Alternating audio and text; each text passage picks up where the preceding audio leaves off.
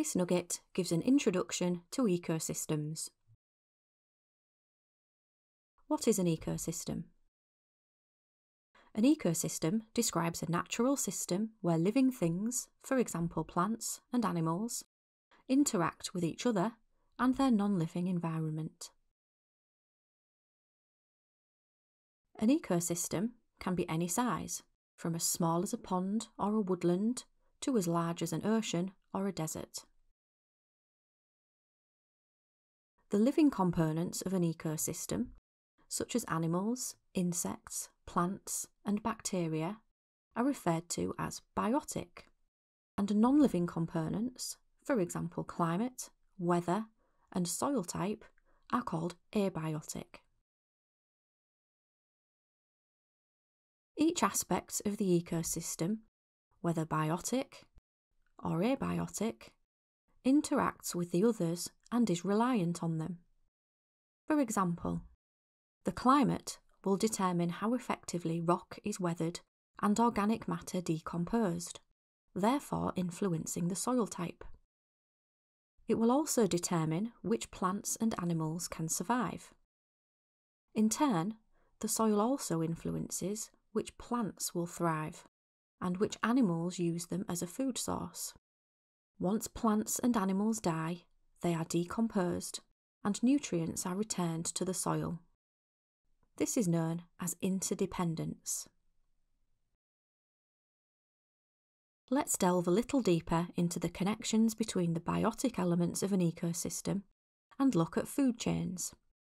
Here we have a typical woodland ecosystem where many organisms rely on each other for food and energy.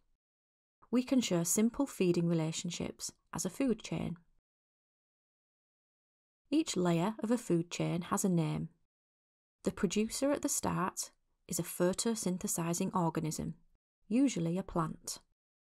Everything after this is called a consumer. Primary consumers are herbivores or omnivores.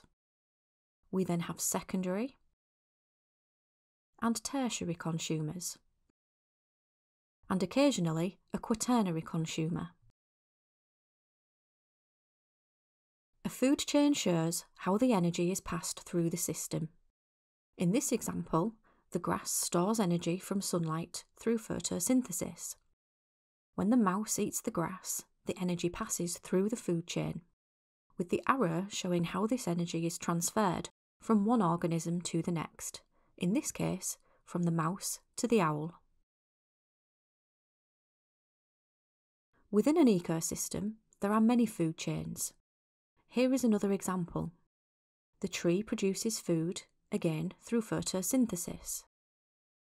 The energy gets passed through the food chain to the butterfly, the robin, and the red kite as each organism is eaten by the next.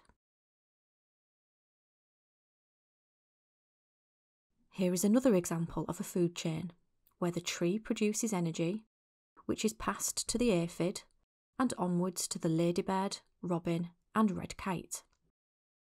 As you can see, there are many feeding relationships, even in a simplistic representation of an ecosystem.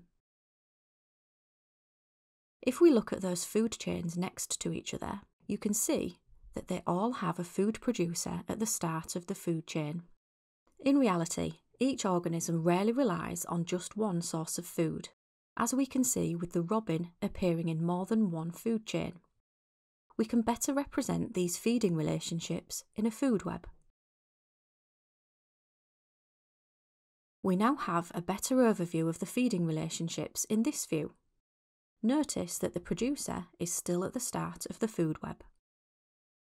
How do these biotic food chains and webs link to the abiotic environment? When plants and animals die, they are broken down by detritus feeders such as worms and microorganisms like fungi.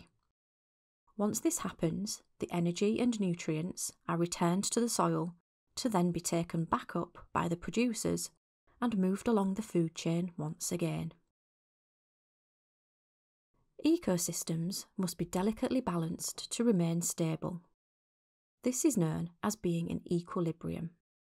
Equilibrium can be disturbed by changes made to any part of an ecosystem, which will then go on to affect the other biotic and abiotic elements of the ecosystem, making it unbalanced.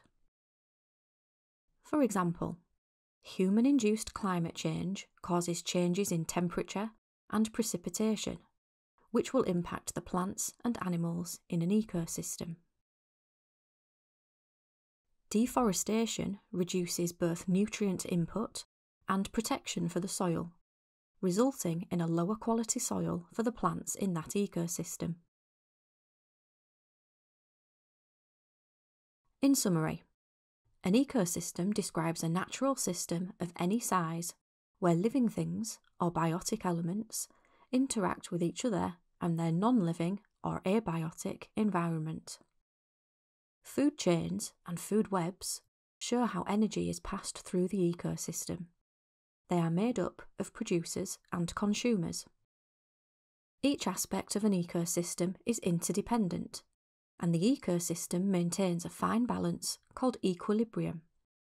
Equilibrium can be disturbed by changes made to any part of an ecosystem, which will then go on to affect the other biotic and abiotic elements of the ecosystem. Keywords Organism, any living thing. Biotic, living factors within the ecosystem. Abiotic, non living components. Interdependence, the reliance of all aspects of an ecosystem on the others. Food chain, a diagram representing simple feeding relationships in an ecosystem. Food web, a diagram representing complex feeding relationships in an ecosystem. Photosynthesis, a metabolic process that uses the sun's energy to combine carbon dioxide with water to produce glucose and oxygen. Producer, an organism that makes its own food from the sun, for example, plants. Consumer, an organism that eats another organism, for example, a caterpillar. Decomposer, an organism that breaks down the remains of dead organisms, for example, a worm.